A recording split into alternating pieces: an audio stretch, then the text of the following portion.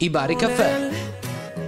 Porque sé que sueñas con poderme ver, mujer, ¿qué vas a hacer? Decídete pa' ver. Dal 15 settembre ripartono i giovedì sera latini con Max Latino.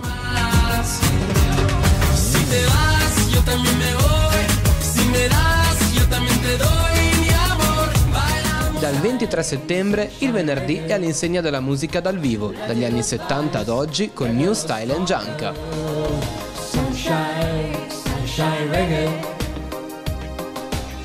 Scommettiamo che ti diverti? A Voghera, in via Fratelli Rosselli 139.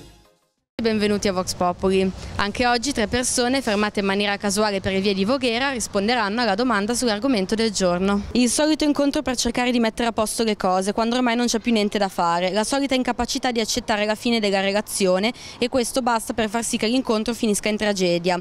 Non è la trama di un film, bensì una storia reale già sentita più volte. Questa volta è successo a Parma dove Elisa, 39 anni, è stata accoltellata dal compagno. Il motivo? Lei voleva chiudere la relazione, lui no. Come definiresti questa situazione? Da psicopatici.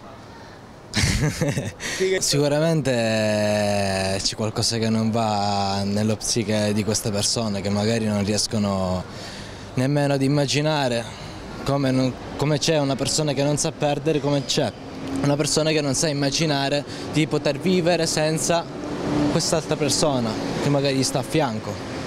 Secondo me questo è il pensiero, che poi sì, ci sono punti di vista diversi, come chi può pensare abbia ucciso solamente perché è pazzo, fuori di testa, come chi può pensare che ha ucciso semplicemente perché non pensa di immaginare la sua vita con qualcun altro accanto, un punto di vista. Ma penso che sia una situazione deplorevole, una tragedia veramente. Direi che i maschi vanno un po' educati, perché questo senso del possesso primordiale, ti do una clavata in testa e ti porto nella mia grotta, mi sembra che ormai debba essere superato.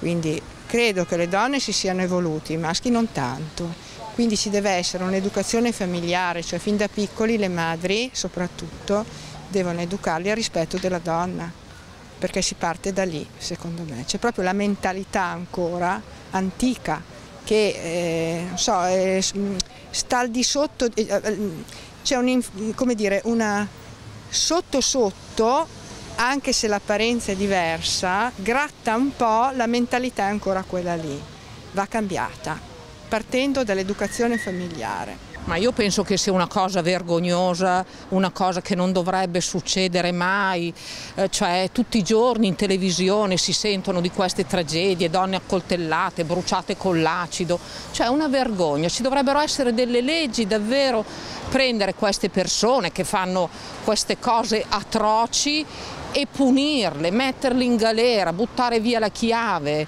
perché sono persone, non lo so, io adesso abbiamo l'abitudine di dire sempre che sono persone malate, dare sempre la colpa che è una persona malata, ma diciamo che sono persone cattive che vogliono fare del male, cioè io penso, penso quello, penso quindi pene più severe per queste persone. Secondo lei si tratta più che altro di un, di di un fattore di educazione più...